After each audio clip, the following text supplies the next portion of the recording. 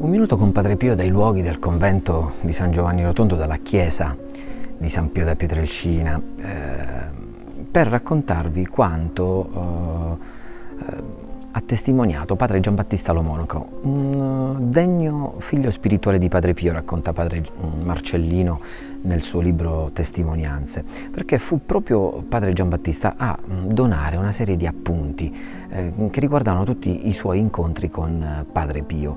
Eh, il padre eh, gli ha dato ampie assicurazioni di stargli sempre vicino nel suo cammino spirituale e questo ne ha dato prova. Infatti nel marzo del 1940 lui era in sacrestia, attese padre Pio che mm, rientrasse eh, dalla chiesa, quindi per eh, togliersi i paramenti sacri, e mm, lui lo aiutò.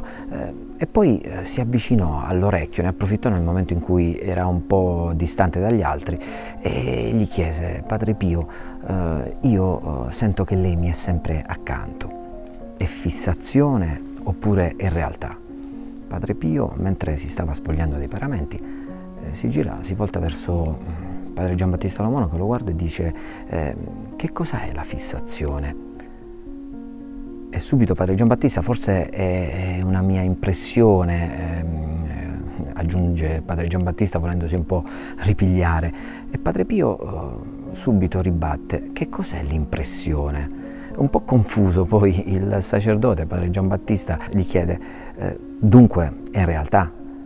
E padre Pio sorridendo gli annuisce con la testa. Poi in un'altra occasione, nel 1965, però nel dicembre del 1965, padre Giambattista ha una grande occasione. Eh, Padre Pio si trovava nella verandina, era da solo, quindi ha la possibilità di poter eh, chiacchierare con Padre Pio, poter stare con lui, e questo lo racconta suoi, nel suo diario, però gli fa un'altra domanda, gli fa una domanda specifica dove lui era sempre eh, attento a quel tipo di situazione, voleva sapere se Padre Pio era accanto a lui, allora glielo chiede. Eh, spesso padre, dice padre Giambattista, eh, io la chiamo, eh, ma lei mi sente?